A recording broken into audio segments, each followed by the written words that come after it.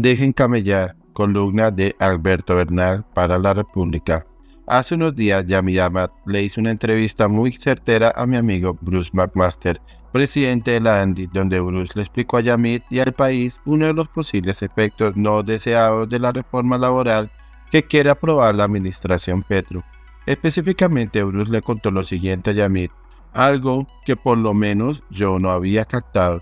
Yamit, acá un ejemplo que le quiero ilustrar. Si usted es un pequeño emprendedor, si usted es una pequeña empresa, por ejemplo, en Barranca Bermeja, y le quieren vender algo a Copetrol, digamos, almuerzos o tornillos, resulta que esa reforma dice que si usted no le ofrece las mismas condiciones a sus empleados que le ofrece Copetrol a los suyos, entonces usted no le puede vender a Copetrol.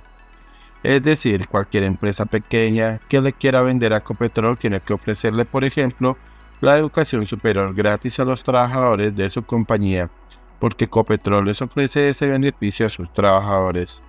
Lo mismo pasa con cualquier empresa que le quiera vender algo a un banco.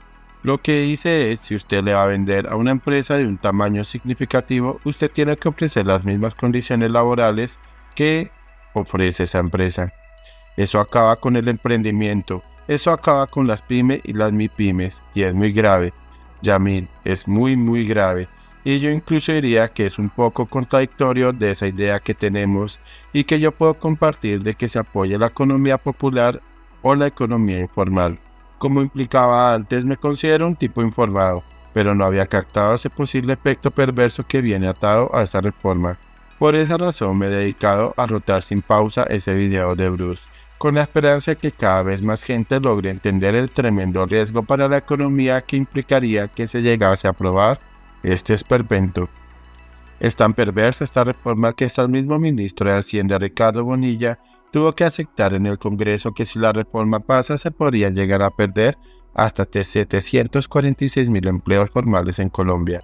El matiz que hizo el ministro es que esos 746 mil empleos formales no desaparecerían, sino que pasarían a ser informales.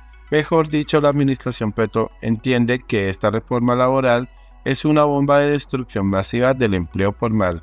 Confieso mi total ignorancia de por qué el gobierno del pueblo busca destrozar el bienestar de la clase trabajadora, la gran mayoría de la cual todavía sigue trabajando en la informalidad.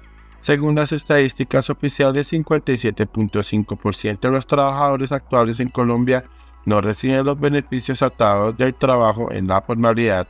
Una reforma laboral progresista, una que de verdad buscara mejor calidad de vida de los colombianos menos favorecidos, debería buscar disminuir el costo para los emprendedores y empresarios de blanquear a su respectiva fuerza laboral. Un incremento en la formalidad también tendría un efecto secundario benévolo. Se incrementaría el porcentaje de colombianos que ahorran para recibir una pensión. Mejor dicho, la mejor reforma pensional es una reforma laboral que disminuya los inmensos niveles de informalidad en los que sigue sumida Colombia.